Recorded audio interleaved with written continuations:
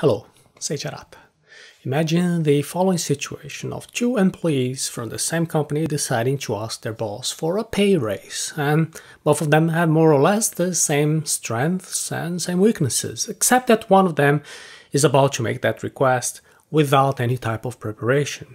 He doesn't do any preparation because he believes that he deserves to earn more, and it's pretty obvious to everybody. But the other employee behaves in a different way, and before asking for the raise, he prepares himself by studying different negotiation techniques. Now, who do you think will have a better chance of getting that pay raise? Obviously, it's gonna be the person who prepares to get better results. And once you master negotiation techniques, you will be at a huge advantage when it comes to getting pay raises or promotions at work. I would say even that 99.99% of the population does not know how to negotiate properly. And the reason behind that number is simply that people don't know how to negotiate because they're not interested in learning negotiation techniques. So, congratulations on being different and wanting to learn about negotiating this such an important conversation that you will have. When we talk about negotiation, we're talking about every type of communication in which different people want to reach a certain type of an agreement. That is why there are many different modalities, types of negotiation. You have negotiation for sales, for international agreements, even for marriage or when it comes to picking a restaurant to eat out. But our conversation today will focus specifically on techniques to negotiate a pay raise. Okay, so the first step to getting that raise is a tip on what not to do. Don't negotiate your position when trying to get your raise. When we're talking about negotiation, one of the big mistakes that you can make is to think that you have to start out from a very high position, so then the other part will start very low until both of you reach a middle ground. Let me just illustrate this mistake. Let's imagine that what you really want would be 30% of a pay raise. It is a mistake to open negotiations with your supervisors by asking for a figure much above that. For example, asking them to triple your current wage. Your boss will understand that this request is beyond reason and now it's time for him to offer a much lower figure, for example, 15% of a raise, and then you make a concession saying that you will settle for 50%, and in the end, in theory, your boss would arrive to the offer of 30%, which is what you wanted from the start. Do you get the mistake of this example? The mistake is to think that we need to ask for much more than what we really want, what we really need, so then we can reach a happy medium average. Apart from this being a well-known cliche, it, this, type of thinking is another big flaw because when you open negotiations asking for an extreme number, and then your boss counters with another extreme number, both parties get tied to these positions. And what is the problem of sticking to a position? Well, it's going to make much more difficult to find creative solutions to get what you really want. If you say that you want to triple your current wage, you have to explain why how did you come with this number? And, and then, then you have to be telling what type of projects you've been doing and accomplishments you had, the types of training you've been having, how you will be helping to grow the company, and so on. And then to justify the lower offer, your boss also has to come up with justifications. And then he's going to have to stick to that justification. He will have to tell you that the company has a limited budget and that the country's economy is not doing so well. And if he gives you a raise, it might not be very fair to other employees. You see, the more these explanations go on and on, the harder it is to negotiate anything at all because the parties' egos will prevent them to get out of their positions because you know nobody wants to lose and admit that what they were saying was not actually true. Um, this will make the conversation much more difficult. In other words, the negotiation will become this childish game of let's see who wins. That's exactly what you do not want, especially when you're negotiating with a boss who is really in a position of power. Now, that doesn't mean that you have to go to the other extreme being very gentle, saying, hey, they think maybe one day perhaps we can take a look at, you know, this is not objective, this is not assertive. And if you fail to be objective and assertive, you have the risk of not being taken seriously. Your supervisors might realize that they can keep putting you off, and this conversation of keeping you on same wages for months and months. So, now we saw what you shouldn't do. Now let's unpack what you can do to get better at negotiating. Take an interest based approach when you're negotiating your wages. Interest based approach. Instead of making the mistake of negotiating positions, the best bet to get a pay raise is to start negotiating based on interests. This is another different approach that will help you to stay away from the difficult zone where people feel the need to be protecting their ego, to be defending their positions. It is less tense and childish uh, way of negotiating. Uh, interest-based negotiation is a more mature, it's more efficient because it doesn't conflate our positions with our identities. That means that you and your boss don't need to be defending your positions and to be proving who's right and who's wrong and who's gonna win at the end, probably your boss. The interest based negotiation also helps us to think about our true needs, what really matters to us, and this allows us to have more creativity in the negotiation process. Let's also make it clear that the interest based negotiation ends up being more fair to everyone who's involved because it tries to meet everybody's needs. The interest based negotiation is an interaction whose dynamic is solution oriented.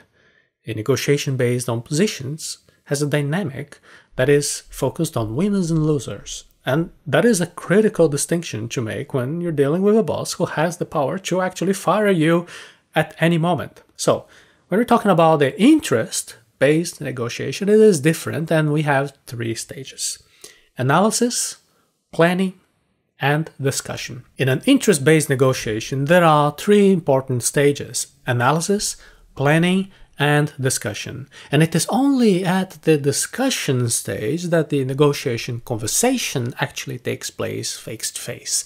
And before that, you need to do some groundwork and go through the analysis and also the planning stages. And this prep work of analyzing and planning is crucial because usually if you start speaking without listening, you are unlikely to get the result that you want. You need to be prepared. You need to know what you're going to say and to be able to know what you're going to say, you have to listen first. You have to collect strategic information. And this is a lesson that really needs to sink in, and when it does, it really sets us apart from the majority of people who don't know how to negotiate properly. In your negotiation process, it is crucial that you set aside some time to understand precisely what your boss's goals are, what he can give, what is completely off bounds, what are their fears and wishes? You need to know exactly what is going to happen on the other side, so then you can start saying exactly what is both relevant to your goals and also to what your boss wants to hear. In our course, Double Your Salary, I'll explain to you these three stages of the interest based negotiation in detail. You can find more in arata.se forward slash DYS. The Your Salary course is an online training program which takes you through four pillars to get your pay raise, which are environment, mindset, behavior, and communication. And I really want you to have all the skills and the ability to negotiate your pay in a smart way. And that is why, before I tell you more about the course, I really think it is important to stress the distinction between interests and positions. Positions and interests, they are completely different things. Until now, you've learned that you have to act differently to most people and avoid the negotiation based on positions. Position based negotiations paralyze us, they prevent us from getting good results. It is crucial to be flexible and creative and try out different approaches to get the results that we want. And that is why it is better to think in terms of interests, not positions. At the analysis and planning stages, we need to picture how each party will react, play out all the possible scenarios before they happen. And this will help you to prepare much better for any possibility that comes up. A good way to do these mock negotiations is to foster good relationships at work. If you have a good relationship, that gives you great resources, that gives you information to picture the, rea- the reactions of people, the people with whom you're gonna be negotiating with. Another tip for this activity, you can imagine the different kinds of proposals that you want to make and then think them as though you are the other party. You'll be asking yourself why, and also why not. Write out the possible answers and list the pros and cons of each part, what they have to win, what they have to lose in each type of situation. Ask intelligent questions to uncover the other party's interests. The best way to gauge your boss's interests in a pay raise negotiation is to ask yourself intelligent questions before the conversation happens. And then you write out the answers. This process gives you a global vision of the different interests that are at stake and also allow you to negotiate more efficiently. For instance, what will other people think of your boss when they find out that he's giving you a raise? What will other people think of your boss when they find out that he has not given you a raise? What might happen if you get promoted? Hmm, that's a good one. Could it create a dangerous precedent for your boss. Maybe it could trigger a general feeling across the company of that I wanted to among the other employees. Um, what are the immediate consequences of you being promoted? Hmm. What are the immediate consequences of you not being promoted? What are the long term consequences of you getting that pay raise? Long term consequences. What kind of a gap are you going to be leaving if you go to another higher position, if you're promoted? As well as asking yourself smart questions. You also need to think strategically. In other words, think beyond the pay raise. Go much beyond just the numbers, the financial gain. Find everything that you can ask for that will help you to progress in your career. If you want one example, if you know there is a department that you can go to and you can learn lots of things, it's a, a growing area of your business, that might be much better than you staying in a quiet department where nothing is actually happening, that a department that is not growing. And before going to negotiation itself, you need to understand that both you and the company have multiple needs, multiple goals. Please write all of them to have a solid basis for your negotiation and make sure that you are very clear about the points that are truly essential to you and all the points that you can let go if necessary.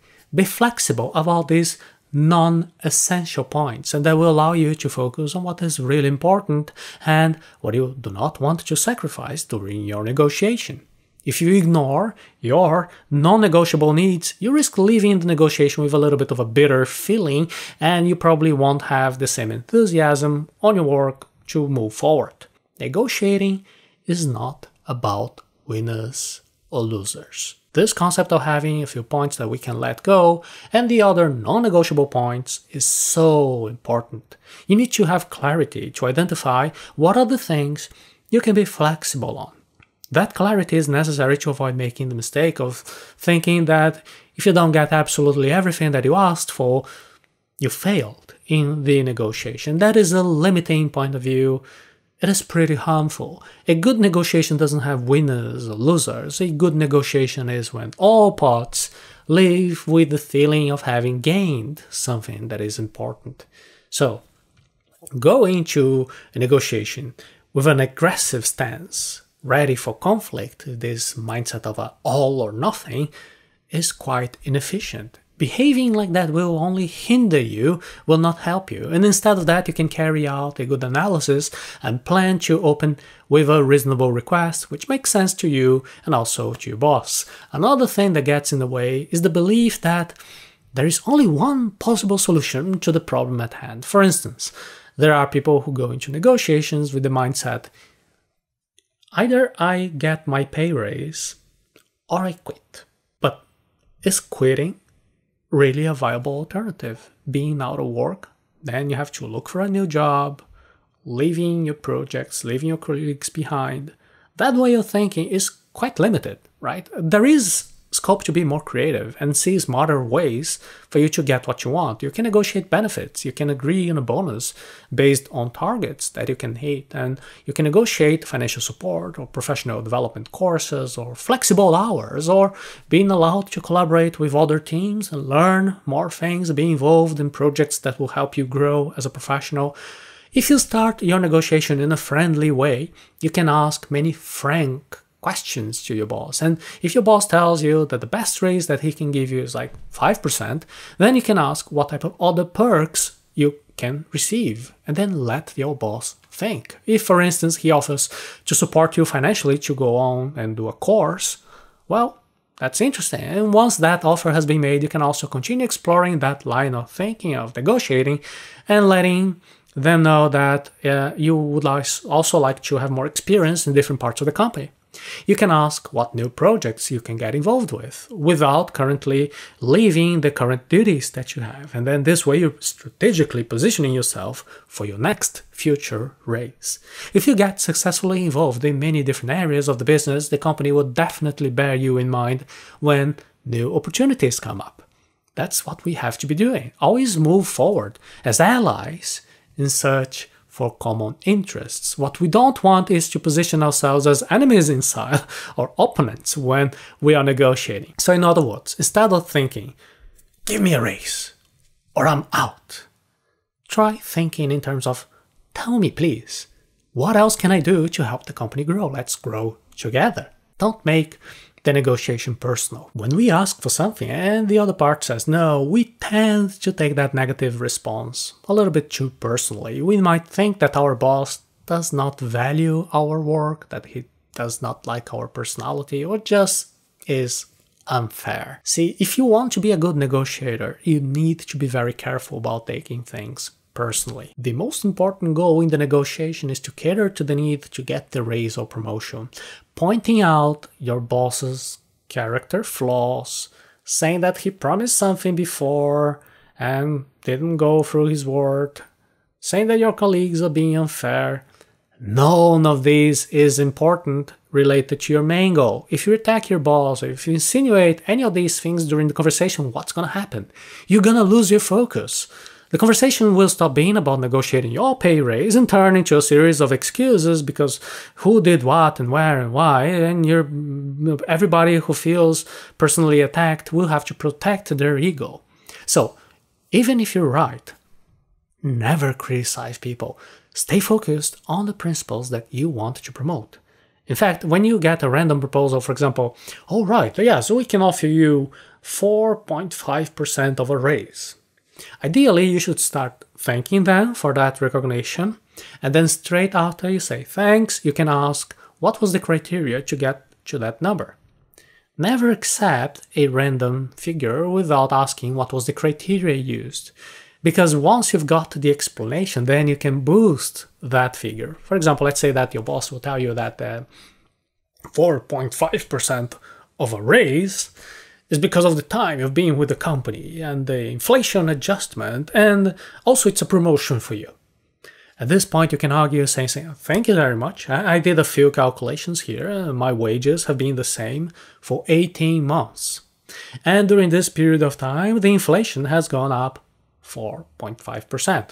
So, um, for me to actually have a raise in real terms, taking into account the time that I've been with the company, having a real promotion, then the figure will have to be higher than that. I think that the lesson is pretty clear here. If you do not ask the criteria, you're probably gonna be offered less than you could be earning. Make your requests in strategic order. In the Double Your Salary course, you're gonna get full training on how to make your requests in a strategic order in order to get the best possible outcome in your negotiation, as well as many other different techniques. For instance, you need first to be pinning down the items that can be negotiated before, talking about figures at a later stage. Imagine that you're going to ask for a raise based on your time at the company, at the inflation adjustment, and also a promotion. In that case, you cannot let these different requests overlap. Ideally, you want to always start strategically with the bigger requests. Ask if you can be promoted to a position with greater responsibilities based on the quality of the work you can do. When your boss agrees to this, then you jump to the point number two, and then you ask for a raise based on the amount of time that you have already been with the company. And so only at the end of the negotiation bring up something very obvious that cannot, you know, be denied, such as adjustment for the inflation. That's basically impossible to ignore or to refuse. Only after your boss has committed to negotiating all these three items, then you can be talking about the numbers, the figures. In this example, we've only used three different points of negotiation, but if you do your homework properly, you can negotiate far more than this. Keep a positive instance. The best way to stand out in anything is to act differently from most people. Your boss probably has to deal with lots of pay raise requests every month. So it is very likely that everyone who comes in looking for a raise approaches this request uh, from a position of conflict by making threats and complaints. To avoid being just one more person in that crowd, You've got to enter the negotiation with a positive outlook and expect the best kind of decision. That doesn't mean that you're gonna get your pay raise, but it will absolutely set you apart from other people. And even if you don't get what you initially asked for, if you follow what you've learned here, you're gonna be ready to make other proposals in the future. That's what being prepared means. The majority of people don't prepare. They, they show up from a position of conflict. They make a demand and either they leave frustrated or they end up leaving their boss feeling frustrated. Avoid being just one more person in a crowd. It is your responsibility to show up with an interesting proposal for both sides, and even if you can't get the raise, you need to understand the reasons why and then you can propose new ideas, new angles, new uh, new new new requests on the future or even now. To stand out, you need to show your enthusiasm, your commitment, your desire to grow, show the results you already yielded, and mean that you can keep yielding even if you will be involved in new projects. By doing this, your chances of getting a good pay raise and due recognition in your work will increase exponentially. Getting a pay raise is not easy, but it can be successfully achieved if you prepare and if you apply what you've just learned here. Ideally, you should apply the tips that you've learned here after implementing the four pillars environment, mindset, behavior, and communication, which I teach you on the Double Your Salary course. And then you can carry out your analysis and planning, right? What we've talked about here is just the tip of the iceberg. For example, I haven't even touched upon the BATNA, which is the best alternative to a negotiated agreement. We still need to discuss what has to be done when your boss starts using techniques to single you out or plays a little bit dirty.